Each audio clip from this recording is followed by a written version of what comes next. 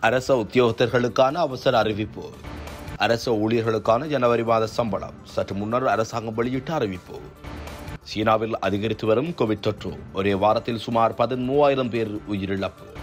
விரைவில் தரமைந்து புலமை பரிசில் பரீட்சை பெறுவீர்கள்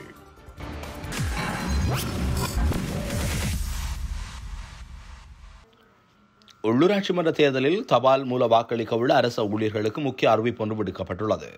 இதன்படி உள்ளூராட்சி மன்ற தேர்தலுக்கான தபால் மூல வாக்களிப்பிற்கான விண்ணப்பங்களை பெறுபேற்கும் நடவடிக்கை இன்றுடன் நிறைவடைய உள்ளதாக அறிவிக்கப்பட்டுள்ளது.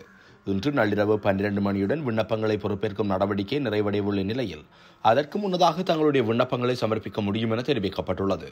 உள்ளூராட்சி மன்ற தேர்தல் மார்ச் மாதம் ஒன்பதாம் தேதி நடைபெறும் என தேர்தல்கள் ஆணைக்குழு அறிவித்துள்ளது. இருபத்தி ஒன்பது மாநகர சபைகள் முப்பத்தி ஆறு நகர சபைகள் உட்பட இருநூற்றி எழுபத்தி ஐந்து பிரதேச சபைகளுக்கான உறுப்பினர்களை தெரிவு செய்வதற்காக தேர்தல் நடைபெறவுள்ளது. வேட்புமனுக்களை பொறுப்பேற்கும் நடவடிக்கை கடந்த இருபத்தி ஓராம் தேதி நண்பர்களுடன் நிறைவுக்கு வந்திருந்தமை குறிப்பிடத்தக்கது. அரசு ஊழியர்களின் ஜனவரி மாத சம்பளம் தொடர்பில் விசேட அறிவிப்பொன்று விடுவிக்கப்பட்டுள்ளது. இதன்படி அரசு ஊழியர்களின் ஜனவரி மாத சம்பளத்திற்கான திகதிகள் குறித்த அறிவிப்பை ராஜாங்க அமைச்சர் ரஞ்சித் சியாம்பலப்பிட்டிய வெளியிட்டுள்ளார். இந்த நிலையில் நிறைவேற்று அதிகாரமற்ற ஊழியர்களுக்கான சம்பளம் எதிர்வரும் ஜனவரி மாதம் இருபத்தி ஐந்தாம் தேதி வழங்கப்படும் என ராஜாங்க அமைச்சர் தெரிவித்துள்ளார். நிறைவேற்று அதிகாரிகளுக்கான சம்பளம் எதிர்வரும் ஜனவரி மாதம் இருபத்தி ஐந்து அல்லது இருபத்தி ஆறாம் தேதி வழங்கப்படும் எனவும் ராஜாங்க அமைச்சர் மேலும் குறிப்பிட்டுள்ளார்.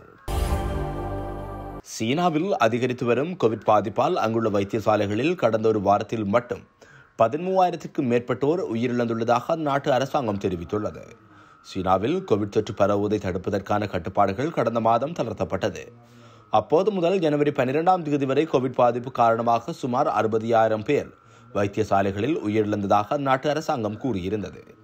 சீனாவில் உள்ள மத்திய நோய் கட்டுப்பாடு மற்றும் தடுப்பு மையம் நேற்று முன்தினம் வெளியிட்ட அறிக்கையில் கடந்த ஜனவரி பதிமூன்றாம் தேதி முதல் பத்தொன்பதாம் தேதி வரை வைத்தியசாலைகளில் அறுநூற்றி எண்பத்தி ஒரு பேர் கோவிட் பாதிப்பு காரணமாக மூச்சு திணறல் ஏற்பட்டு உயிரிழந்துள்ளனர் என அந்த அறிக்கையில் தெரிவிக்கப்பட்டுள்ளது.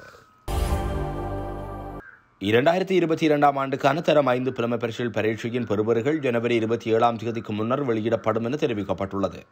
இந்த தகவலை பரீட்சைகள் ஆணையாளர் நாயகம் எஜ்ஜே எம்ஜி அமித் ஜெயசுந்தர் தெரிவித்துள்ளார். அதன்படி பரீட்சைக்கான விடைத்தாள்களை மதிப்பீடு செய்யும் பணிகள் தற்பொழுது இடம்பெற்று வருவதாக அவர் கூறினார்.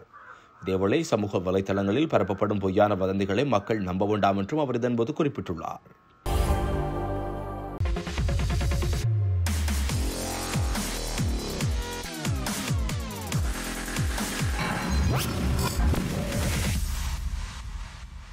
அரச உத்தியோகத்தர்களுக்கான அவசர அறிவிப்பு. அரச ஊழியர்களுக்கான ஜனவரி மாத சம்பளம். சற்று முன்னர் அரசாங்கம் வெளியிட்ட அறிவிப்பு. சீனாவில் அதிகரித்து வரும் கோவிட் தொற்று. ஒரே வாரத்தில் சுமார் பதிமூவாயிரம் பேர் உயிரிழப்பு. விரைவில் தரமைந்து புலமை பரிசில் பரீட்சை பெறுவர்கள்